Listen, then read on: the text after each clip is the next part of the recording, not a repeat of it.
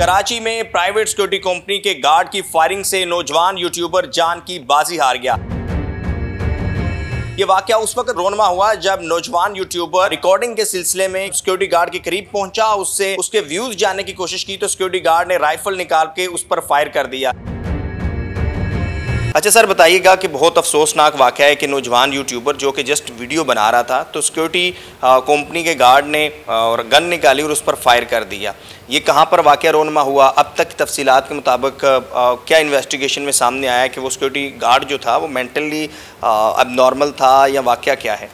जी, ये हमारा थाना है तैमूरिया, उसमें ये वाक़ पेश हुआ है। और जो यंग लड़का है वो ही इज़ ए यूट्यूबर और यूट्यूब के ऊपर वीडियो बनाता था तो उस दिन भी वो वही कर रहा था। तो अपेरेंटली जो अभी तक पता चला है कि गार्ड ने उसको मना किया कि आप वीडियो ना बनाएँ और उसके ऊपर थोड़ी सी हालाँकि चपकलिश हुई, आप वीडियो देख सकते हैं, जिसमें वाक़ हुआ है बड़ी एक ख़राब वीडियो है, ख़तरनाक वीडियो है। तो पहले उसने एक हवाई फायर किया, उसके बाद दूसरा फायर उन्होंने, उसने स्ट्रेट किया, जिसमें उसकी डेथ हो गई है। तो अभी हमने जो एफआईआर दी है, वो सिक्योरिटी कंपनी के ऊपर भी दी है। और जो जहाँ पे वो उसकी डिप्लॉयमेंट थी उस गार्ड की उनके ऊपर भी हमने एफआईआर दी है और गार्ड के ऊपर भी एफ़ दी है। बहुत सारी सिक्योरिटी कंपनी तो ऐसी हैं कि जिनकी जो प्रॉपर आई थिंक रजिस्ट्रेशन भी नहीं है और वो गैर कानूनी तरीके से भी काम कर रही हैं। लेकिन चूँकि कराची जैसे बड़े शहर में जहाँ पर सिक्योरिटी गार्ड इस तरह तैनात होते हैं, जो हमारे आर्म फोर्सेज हैं या सिविल आर्म फोर्सेज हैं, जो पैरामिलिट्री फोर्सेज हैं, पुलिस है, उन सब की एक ट्रेनिंग प्रोसेस से गुजर कर आते हैं तो उनको ये ना हो होता है जी, अगर जवान के पास गन है तो उसको सारा नॉलेज है कि इसको कहाँ पर यूज़ करना है। इनकेस अगर फायर भी करना है तो वो डायरेक्टली ये नहीं कि आप उसे चेस्ट के ऊपर कर दें।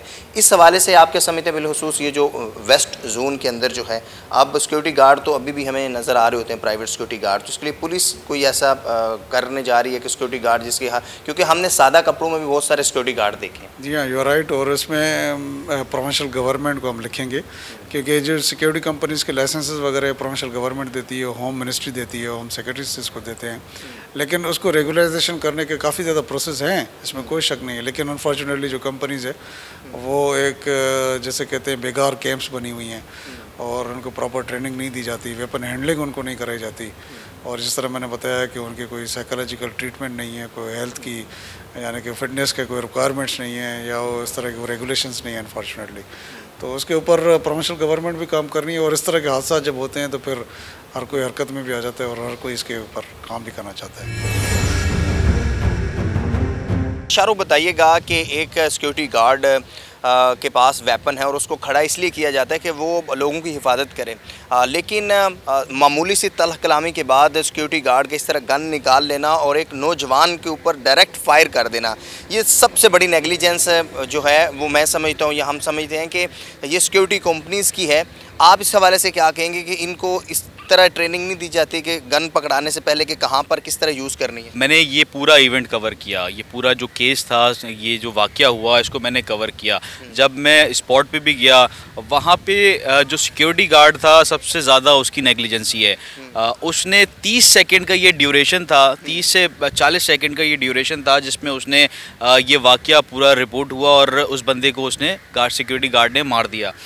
अब सिक्योरिटी गार्ड को जब ऑन स्पॉट गिरफ़्तार किया और उसको लेके आए मैंने उसका इंटरव्यू भी किया मगर उसको कोई नदामत नहीं थी। अनप्रोफेशनल जो है वो सिक्योरिटी गार्ड था उससे मैंने ये सवाल भी किया। मैंने कहा इससे पहले कि आपने गन चलाई है गन की तरबियत हासिल की है तो उसने कहा कि मैंने कभी ज़िंदगी में जो गन चलाने की तरबियत मैंने हासिल ही नहीं की। नहीं नहीं हासिल की। हम्म। तो आप देखें कि ऐसे लोगों को जो ये कंपनीज़ हैं, उन पर ये सवालिया निशान है, उसने इनको जो है वो गैर तरबियत याफ्ता जो सिक्योरिटी गार्ड्स हैं, उनको हायर किया हुआ है और ऐसे वाक़ात माजी में भी रिपोर्ट हुए हैं। अगर सिक्योरिटी कंपनी ही अनप्रोफेशनल जो सिक्योरिटी गार्ड्स हायर करेगी तो उसमें इंतज़ामिया की जो हायर कर रहे हैं, उनकी गलती तो नहीं है।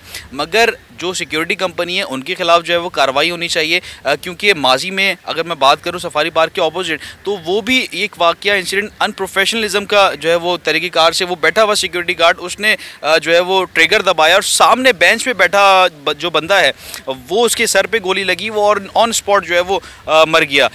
और वो बंदा तिमारदार जो हॉस्पिटल में एडमिट शख्स था, उसकी तीमारदारी के लिए एज ए अटेंडेंट वहाँ पे मौजूद था। तो एक सिक्योरिटी गार्ड की ट्रिगर की जो है वो उंगली ट्रिगर पे रखने से गोली चली और वो मर गया। हमें चाहिए कि एक मुनज़म जो है वो तरीक़ेकार अपनाना चाहिए ताकि जो ऐसे वाक़ात हैं जिसमें कीमती जो जाने हैं इंसान की वो ज़ाया ना हो। अच्छा ये सिक्योरिटी गार्ड कब से यहाँ पर तैनात था इसी कंपनी इसी जगह पे सरीना मोबाइल मार्केट में? ये बकौल जब हमारी उससे बात हुई तो इसका ये कहना था कि मैं यहाँ पे 15 से 20 साल हो गए मैं सिक्योरिटी गार्ड की जो है वो नौकरियाँ कर रहा हूँ। शाहरुख हम देखते हैं कि यहाँ हर चीज़ को बिज़नेस बना दिया जाता है कमर्शियल बना दिया जाता है, लेकिन अनफॉर्चुनेट ये है कि सिक्योरिटी कंपनीज़ एक तो यहाँ पर है कि जैसे उसके बकौल के उसने को पहले ट्रेनिंग नहीं ली वेपन इस्तेमाल करें, करने की गन चलाने की। और दूसरी तरफ़ इस कदर बिज़नेस बना दिया जाता है कि एक बंदे को आपने गन देकर रोड के ऊपर पब्लिक के दरमियान खड़ा कर दिया। जी, बहुत ज़्यादा ये हाईली सेंसिटिव इशू है और एक बंदा जो जो बंदा मरा है, उसकी शनाख्त सात के नाम से हुई। बताया जा रहा है कि बहुत मिलनसार बंदा था और हर दुख सुख में वहाँ पे इलाके वालों के जो भी दुख सुख होते थे, उस पर साथ खड़ा होता था। और वो बदतमीज़ नेचर की तबीयत का नहीं था, जो इलाका मकीन ने बताया। और दो उसके छोटे बच्चे और वो उससे दुबई से आया था। अच्छा, तकरीबन कितनी यहाँ पे सिक्योरिटी कंपनीज़ होंगी कराची में? कराची में जो रजिस्टर्ड और गैर रजिस्टर्ड हैं गैर रजिस्टर्ड ज़्यादा हैं रजिस्टर्ड जो है वो कम है। और इस तरीके से उस रसूख रखने वाले जो अफराद हैं बासर जो इसे हम कहते हैं बासर जो अफराद हैं वो ये कंपनीज़ जो है वो चला रहे हैं जिसकी वजह से उनके ऊपर अगर कोई ऐसे वाक़ात होते हैं और जो केसेस रिपोर्ट होते हैं तो उनके ऊपर हाथ नहीं डाला जाता। पुलिस भी जो है वो कतराती है। मगर ये है कि अगर इनके ऊपर जो है वो चेक इन बैलेंस रखा जाए और इनके जो नॉन प्रोफेशनल अंदाज में काम करने वाले जो सिक्योरिटी गार्ड्स हैं, उनके ख़िलाफ़ उनकी उनकी हिस्ट्री अगर उनके पास रखी जाए तो ऐसे वाक़ात से बचा जा सकता है और उनको ट्रेन किया जाए।